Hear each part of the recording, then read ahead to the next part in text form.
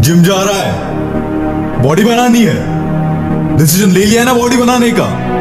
तो बस अब एक बात याद रखना। दुनिया इधर की उधर हो जाए, पर अब जो सोचा है वो करके दिखाना। क्योंकि सिर्फ़ सपने देखने से बॉडी नहीं बनती दोस्त। उसके लिए हर दिन जिम में जाकर पसीना बहाना पड़ता है। खुद को जानवर जैसा ट्रीट करना पड़ता है। शुरुआत में बहुत दर्द भी होगा। पर याद रखना, ये दर्द तभी होता है जब तेरी कमज़ोरी या तेरा शरीर छोड़कर जा रही हो।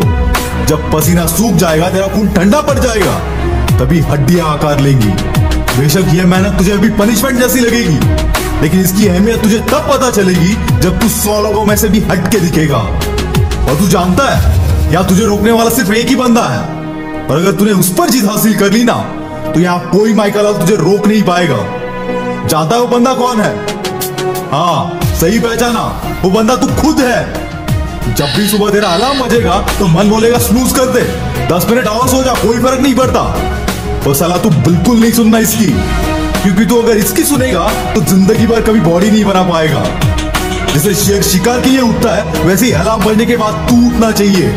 क्योंकि तुझे कैसा दिखना है, ये तुझे तय करना है। उन दस लोगों में से दिखना चाहता है जिन्हें कोई नोटिस नहीं करता क्या तेरी जिद है ऐसा दिखने की, जिसे हर कोई नोटिस करे।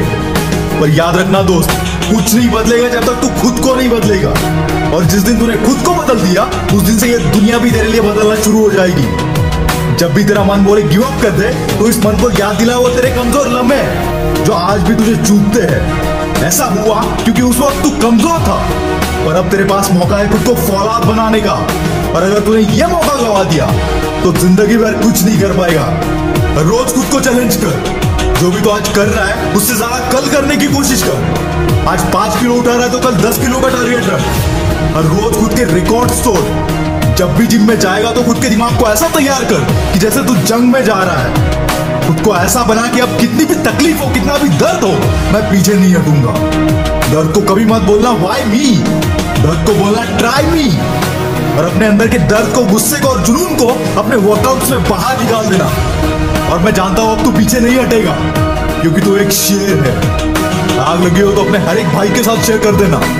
और वीडियो अच्छा लगा तो ही वीडियो को लाइक करके चैनल को सब्सक्राइब कर देना। कभी भी अपने वर्कआउट से चीट मत करना। ये कोई गर्लफ्रेंड बॉयफ्रेंड नहीं है। ये तुम खुद हो। अगर करना है तो करना है। जुनून वाले लोग अपने आप को ट्रेन करते हैं और आलसी लोग कंप्लेंट करते हैं। जब तुम्हें दर्द हो तो सोचना कि ये तुम्हारी कमज़ोरी थी जो पसीने से बाहर निकल रही है। ये पसीना नहीं है, ये तुम्हारी एक्स्ट्रा चर्बी हो रही है। The more you sweat in peace the less you bleeding bone जितना तुम अकेले में पसीना बहाओगे, उतना ही तुम किसी दुश्मन के सामने कम खून बहाओगे। कमांडो को सिखाया जाता है एक बॉडी बिल्डर इस बात को अच्छी तरह से जानता है। पर यहाँ पर तुम्हारा दुश्मन तुम खुद हो, जिसका मन नहीं करता वर्कआउट करने का। जिसका मन नहीं करता सुबह उठने का, जिसका मन नहीं करता वेट लिफ्टिंग का, बीच में दो घूट पी लेना, लेकिन अगर रुक गए जिम करना छोड़ दिया तो ये तुम्हारी सबसे बड़ी हार होगी। अपने आप से हार जाओगे तो दुनिया तो जीत ही जाएगी। फिटनेस का मतलब ये नहीं कि मुझे दूसरों अच्छा दिखना है।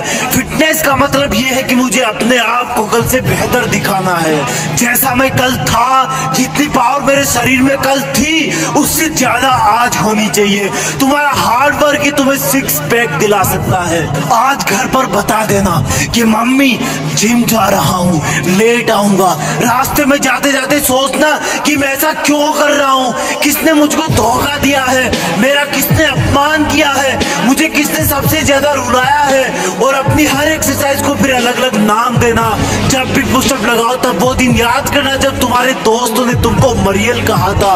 जब भी एप्स लगाओ, अपने प्यार वाले धोखे को याद करना। जब भी रनिंग करो, वो दिन याद रखना जब तुम्हें दवा लेने जाना था और तुम्हारी बस छूट गई थी। अपने आप का एक रूटीन बनाओ। सोना, उठना, काम करना वर्कआउट करना, पसीना बहाना और इन सबको फिर से कल से रिपीट करना। दर्द कुछ देर होता है, लेकिन प्राउड हमेशा रहता है कि मैं दूसरों से बेहतर हूँ, मैं दूसरों से ज़्यादा फिट हूँ और तब तुम्हें वो सब करने का कॉन्फिडेंस मिलेगा जो तुम पहले नहीं कर पाते थे। ये कोई फर्जी चीज़ नहीं है, ये कोई मज़ाक नहीं है, तुम्हारी ट्रेनिंग है। एक चीता की तरह ट्रेन होना है तुम्हें। जवान होना तुम तो जवान की तरह करो। अगर सात बार गिर गए तो आठवीं बार उठ जाओ। लाइफ में उस चीज़ को करने में सबसे ज़्यादा मज़ा आता है। जब लोग बोलते हैं कि तुझसे नहीं होगा, तू नहीं दौड़ पाएगा, तू बॉडी नहीं बना पाएगा।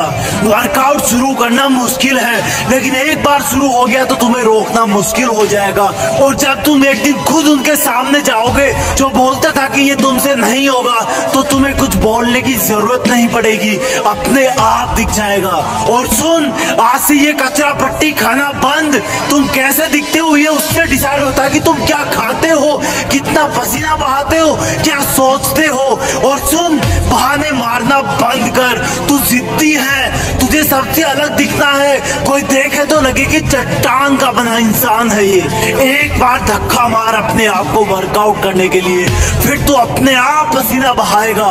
और अगर ये वीडियो अच्छा लगे तो लाइक और शेयर करके सब्सक्राइब भी कर लेना। क्या हूँ? अगर तुम जिम करने के बाद भी सुंदर दिख रहे हो ना, इसका मतलब तुमने ईमानदारी से जिम नहीं किया। तुम्हारी बॉडी ही तुम्हारा पहला घर है जिसमें तुम रहते हो। इसकी दीवारें मज़बूत बनाओ। पढ़ाई भी ज़रूरी है, लेकिन बिग बाइसेप भी।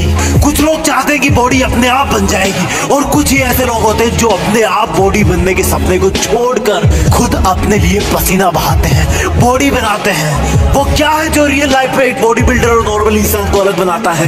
मैं बताता हूँ, जब उसकी बॉडी दर्द करने लगती है, उसके बाद की मेहनत ही तुम्हें बॉडी बिल्डर बनाती है। जब दुनिया सुबह चार बजे नींद के आगोश में सो रही हो, तब शरीर में मेहनत का हार्मोन दौड़ता है। जब लोग ये कंप्लेन करते हो कि आज गर्मी है, उमस है, सर्दी है, उस वक्त तुम्हारा अपने आप को पसीने में तपाना। बॉडी बिल्डर एक चीज़ अच्छी तरह जानता है कि दर्द कुछ मिनट या कुछ घंटे का ही है, लेकिन उसको प्राउड हमेशा रहेगा, क्योंकि वो भीड़ से अलग दिखेगा, उसका कॉन्फिडेंस लेवल हाई होगा।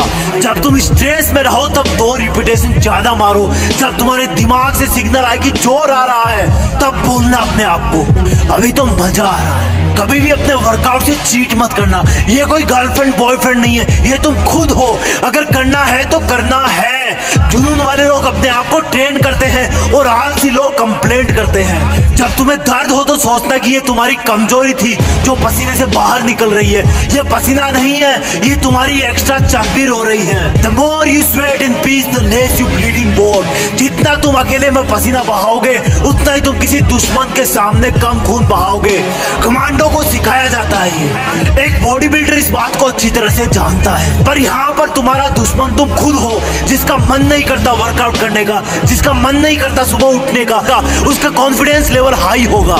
जब तुम स्ट्रेस में रहो, तब दो रिपीटेशन ज़्यादा मारो। जब तुम्हारे दिमाग से सिग्नल आए कि ज़ोर आ रहा है, तब बोलना अपने आप को, अभी तो मज़ा आ रहा है। कभी भी अपने वर्कआउट से चीट मत करना। ये कोई गर्लफ्रेंड बॉयफ्रेंड नहीं है। ये तुम खुद हो। अगर करना है तो करना है। जुनून वाले लोग अपने आप को ट्रेन करते हैं और आलसी लोग कंप्लेंट करते हैं। जब तुम्हें दर्द हो तो सोचना कि ये तुम्हारी कमज़ोरी थी जो पसीने से बाहर निकल रही है। ये पसीना नहीं है, ये तुम्हारी एक्स्ट्रा चर्बी हो रही है। The more you sweat in peace the less you bleed in board जितना तुम अकेले में पसीना बहाओगे, उतना ही तुम किसी दुश्मन के सामने कम खून बहाओगे।